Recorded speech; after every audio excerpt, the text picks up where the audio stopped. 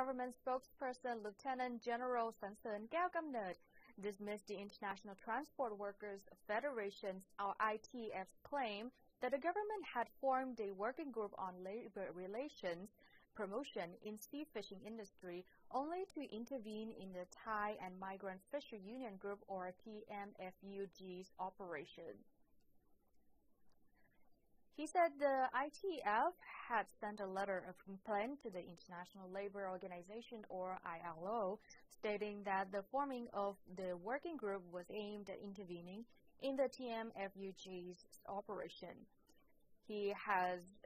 has explained that the working group was established with the aim to help drive labor relation systems in sea fishing operations and promoting employees' collective bargaining and organizations. The government spokesperson indicated that the working group is composed of representatives from both Thai and international organizations and NGOs, such as the Life Quality Promotion Network Foundation, the Stella Maris Sirisha Center, the Environmental Justice Foundation, Human Rights Watch, Asia and Pacific Region, as well as the Committee on Labor Reconciliation of Thailand and the ILO.